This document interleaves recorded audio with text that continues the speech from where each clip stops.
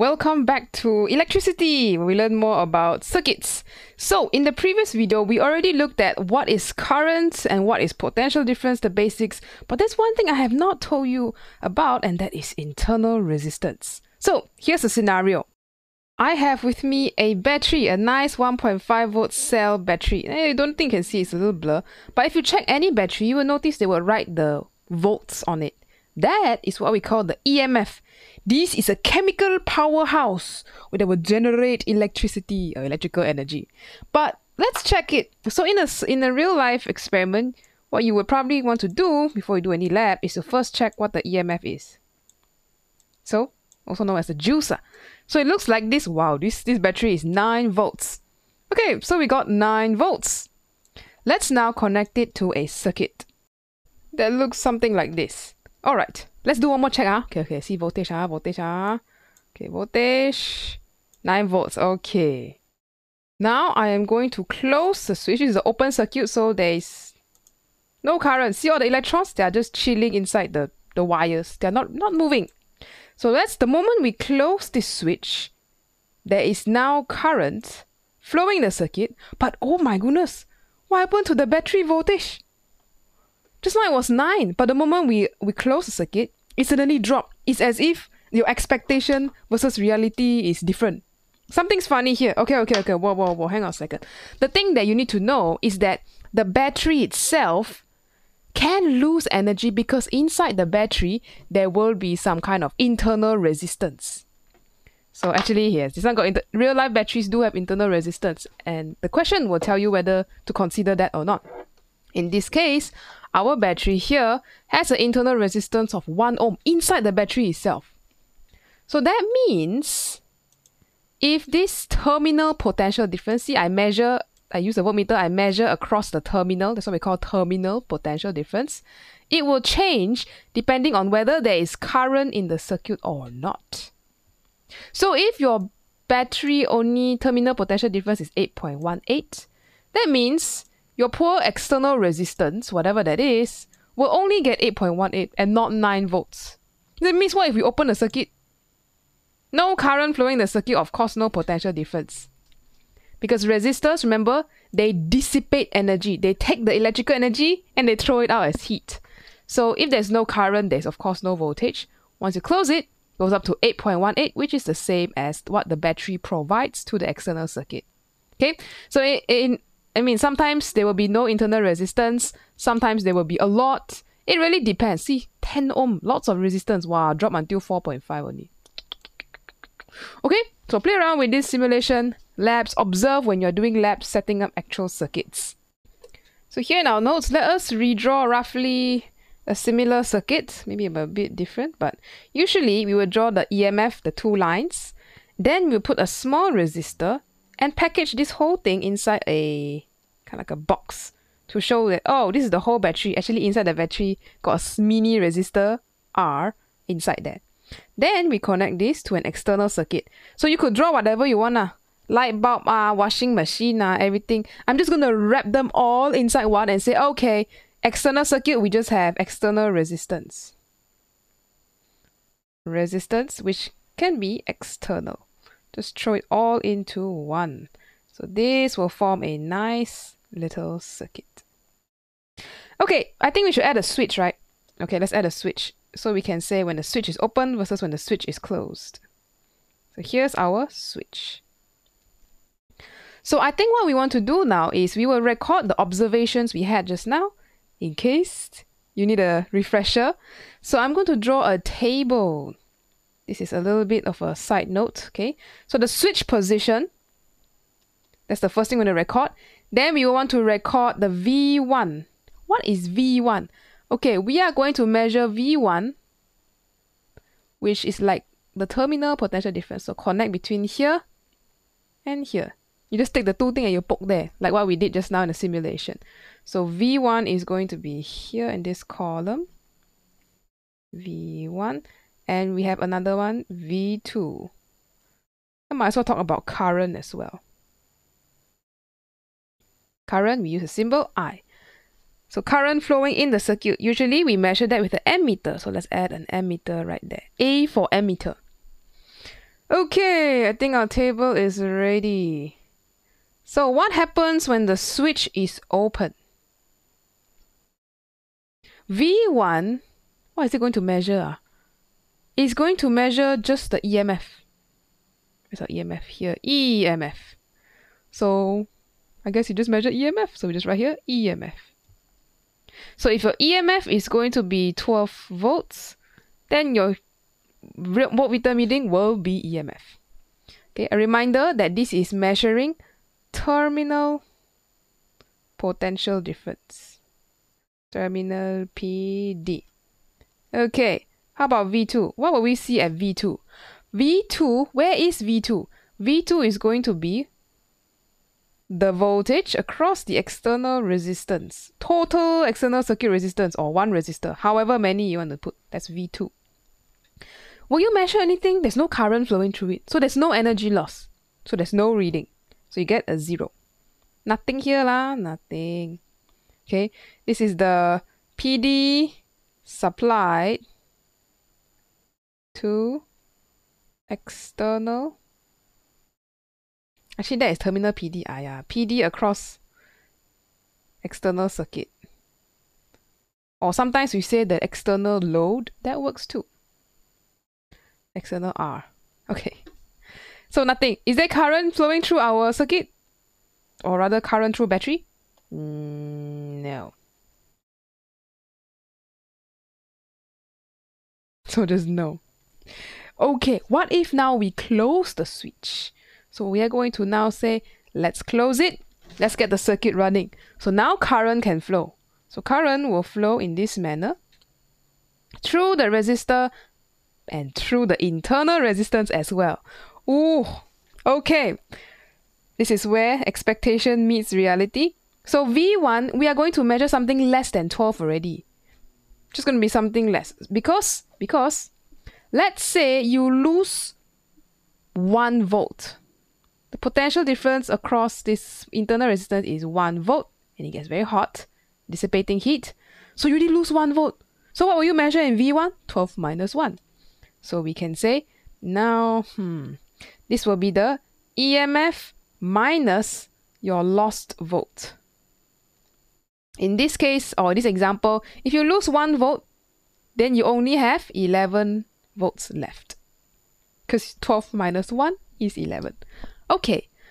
Mm, how about the external resistor? So once again, what comes out of the battery is supplied to the external load or external circuit. So you'll be the same. E minus V lost. So I'm going to write that here. Same as terminal potential difference. V1. Okay, and is there current flowing through everything? Yes current through the battery, current through the ammeter. Alright, so this one is a nice summary of what you will observe. And if you find it hard to imagine what's going on, list it out, list it out step by step. So let's write some definitions also. What is internal resistance? How do we describe it if we are asked to describe it so?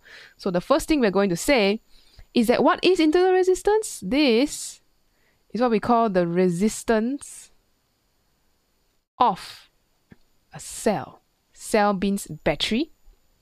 Uh, and this resistance of cell causes what we call lost volts. Right? When current flows through the battery, only when there is current, you have lost volts. When current flows through the internal resistance, or I say through, through the cell, lah. Okay, that's how you calculate that is the lost volt equals to the current times internal resistance. V equals IR. Looks familiar, right? Okay, so there is one equation you can summarize based on all these observations that we have done. And the equation, kind of like an equation, is that, okay, what actually comes out of the battery we call terminal potential difference, terminal PD, or sometimes I just write V terminal. And this will equal to what EMF you had in the beginning minus whatever you already lost. We lost. This is pretty much the core concept that you need to understand when doing all kinds of calculations related to internal resistance and circuits. Okay, but there are other forms, and if you substitute in VIR, Ohm's law, remember this, V equals IR. Into any of these, we can expand it a little bit more. So let's do that. So one possible form is, hmm, terminal potential difference oftentimes is the same as external circuit. See this? So sometimes we can say, oh, this one can just become I current times the total external circuit resistance. I external, or sometimes just IR in this case. So IR equals to EMF minus, now lost volts we can calculate as I through the battery times the internal resistance, IR. And oftentimes you will see the textbook or some past year rearrange this to become IR plus IR. Yeah, so that's how you can calculate anything with a resistance, current, EMF, as long as there's internal resistance. Now, what if we were to do an experiment with this circuit and we keep changing the resistance? We can actually draw a graph of terminal potential difference. Terminal. What actually comes out of our battery, the reality, against okay, what shall we do? You can do uh, you can do resistance or current. I think we'll do current. Current through the battery. So you change the current by varying uh varying your external resistance external R in the whole circuit. Oftentimes you use what we call a potentiometer. Like uh, we draw this symbol, the arrow. Mm. Or you just add more resistors, uh, up to you, uh, whatever method. Uh, okay, as long as you vary R, you will affect the current through the battery. Okay, so remember, affect R, current through the battery. So how would the graph look like? Hmm. Scratch our head a bit. Ah, there's one point that I know is for sure will be there. The first point is the intercept. When there is no current, zero, no current flowing through the battery, there is no lost volts.